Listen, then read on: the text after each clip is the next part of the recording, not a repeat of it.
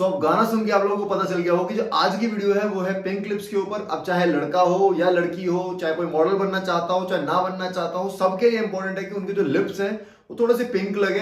अब यार कुछ टाइम पहले मेरे लिप्स भी थोड़े से डार्क होने लगे थे और ऐसी क्या चीज़ें थी जो मैंने करी, वो सारी चीज़ें मैं आज इस वीडियो के अंदर आपको बताने वाला हूँ।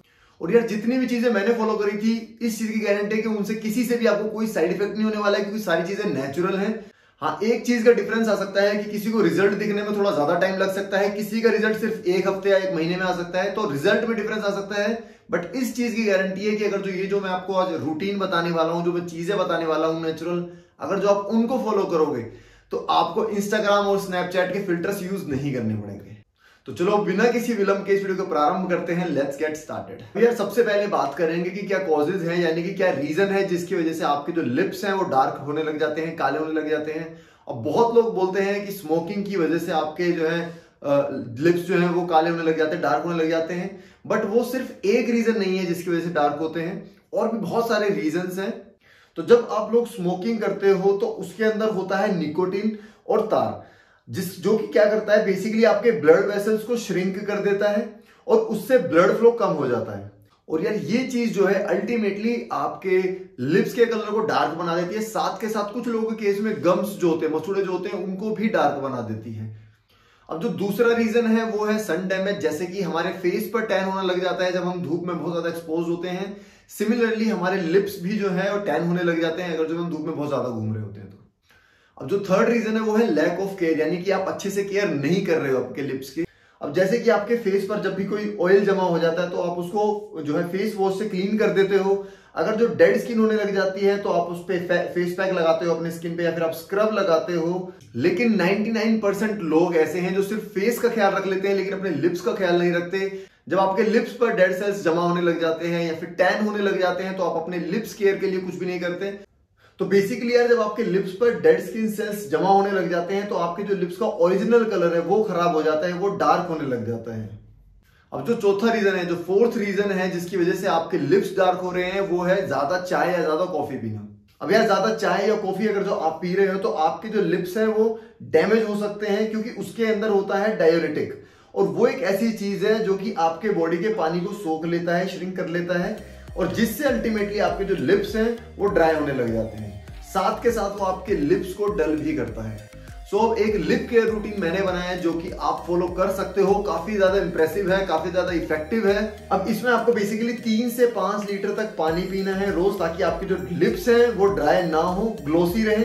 दूसरी चीज़ ये है कि आपको लिप बाम का बहुत ज़्यादा ध्यान रखना है। कोई भी प्रोडक्ट जो कि आप लेंगे अपने लिप पर लगाने के लिए मेक श्योर sure उसके अंदर केमिकल जैसे कि मिथाइल पैराबेन पोलीपैराबेन डाइज या फिर इस तरीके का को कोई भी केमिकल ना हो। क्योंकि मार्केट में बहुत सारे ऐसे लिप बाम होते हैं जो कि बेसिकली बहुत अच्छी खुशबू के साथ आते हैं। उसके अंदर आर्टिफिशियल कलर होता है। जब आप उसको लगाओगे तो काफ़ी ठंडा फील होता है। लेकिन शॉर्ट टर्म में उसमें बहुत अच्छा लगता है, लेकिन लॉन्ग टर्म में वो आपके लिप के जो नेचुरल कलर है, उसको खराब कर देता है। फिर एक चीज़ और आपको देखनी है, वो ये है कि जो भी आप लिप बाम लो मेक श्योर उसका जो एसपीएफ है, वो 40 प्लस हो, क्योंकि नॉर्मली आप अपने फेस के लिए तो सनस्क्रीन ले लेते हो अच्छे एसपीएफ वाली, लेकिन लिप बाम का भी एक एसपीएफ होता है तो मेक श्योर आप वो एसपीएफ ज़रूर देखें। अब यार एक हैबिट और आपको डेवलप करनी है वो ये है कि जब भी आप कुछ ऑयली खा रहे हो पूरी खा रहे हो या बाहर का कुछ जंक फ़ूड खा रहे हो तो ऐसे टाइम पर जो ऑयल है वो आपके लिप्स पर जमा जमा हो जाता है। तो ये चीज़ आपको एक हैबिट बनानी है कि टिश्यू पेपर से बार बार आपको अपने जो है लिप्स को क्लीन करना है क्योंकि जब तक ऑयल आपके लिप्स पर जमा होता रहेगा आपके जो लिप्स हैं वो उतने ही ज़्यादा डल होते रहेंगे। सो so, अब बात आती है होम रेमेडीज की जो कि आपको फॉलो करने और जो मैं फॉलो करता हूँ अपने लिप्स को जो है नेचुरल कलर मेंटेन करने के लिए। अब आपको लेना है एक टेबल स्पून बीट रूट का जूस और उसमें आपको तीन से चार मिंट लीव्स डालनी है। उसके बाद उसके अंदर आपको एक चुटकी जो है हल्दी डालनी है और ये जो तीनों का मिक्सचर है, एक तो बहुत ज़्यादा अच्छा नेचुरल ब्लीच है। आपके लिप के कलर को साफ़ करता है। तो बेसिकली आपको इसका जो मिक्सचर है, तीनों चीज़ों का मिक्सचर अपने लिप्स पर सर्कुलर मोशन में लगाना है और उसको थोड़े टाइम तक के लिए छोड़ देना है, जब तक कि आपके लिप्स नेचुरली इसको ऑब्ज़र्व ना कर ले, उसके बाद आपको इसको वॉश आउट करना है।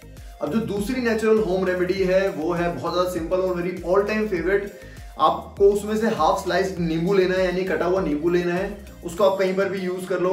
बाकी जो बचा हुआ उसका पार्ट है, जो जो लास्ट का पार्ट होता है नींबू का, उसको आपको उल्टा करके उस पर शुगर डालनी है, यानी चीनी डालनी है और उससे आपको अपने लिप्स पर जो है ना एक्सफोलिएट करना है, यानी कि स्क्रब करना है, ताकि जो डेड स्किन सेल्स है, आपके जो लिप्स पर जो डेड स्किन सेल्स है, वो रिमूव हो सके और एक जो नेचुरल कलर है आपके जो लिप्स का, वो वापस आ सके। अब जो third and final home remedy है, उसमें आपको यूज़ करना है शहद, यानी कि हनी तीन मिनट तक आपको सर्कुलर मोशन में अपने लिप्स पे हनी लगाना है और एक नेचुरल मॉइस्चराइजर है, जो कि आपके लिप्स के कलर को भी बहुत ज़्यादा अच्छे नेचुरल कलर में मेंटेन करता है. आई होप आपको ये वीडियो अच्छी लगी होगी. इसी टाइप की वीडियो को देखने के लिए इस चैनल को सब्सक्राइब कर देना बेल आइकन दबा देना.